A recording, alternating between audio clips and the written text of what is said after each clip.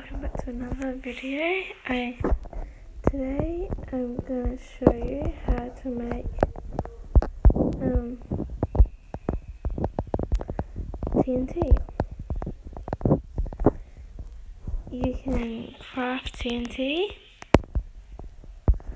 but you can also find it in desert temples. But all you need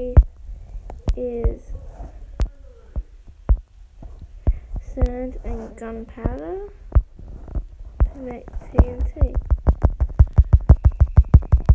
And if you like my how-to videos, please subscribe and in the comments can you tell me um, what you would like to what you would like next and if you want me to do a Minecraft series or anything and yeah I hope you enjoyed this video and see you in the next one